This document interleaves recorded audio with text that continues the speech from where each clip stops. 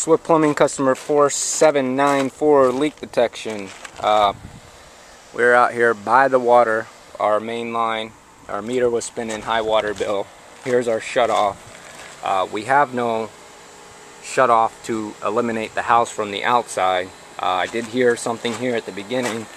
Uh, there is a line there, but the leak was not there. It was just, uh, there's a fitting there where my air was coming through. Uh, I have my we have a, there's a water heater there. There's three water heaters in this house, uh, two stories, um, pool deck with a shower, which you'll see in a minute. Uh, we got a line here. I got press pressurizing from back here. There's another shut-off valve there that feeds this outside bathroom and in return these these docks out here where these boats are. Um, adjusting the bow, found out that that was the case. Uh, no assistance on this as far as what shuts off what.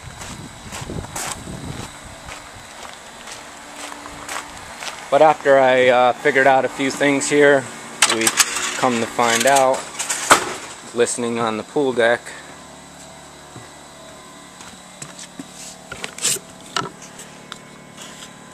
we are in here. I have the water shut off now so you can't hear it as well.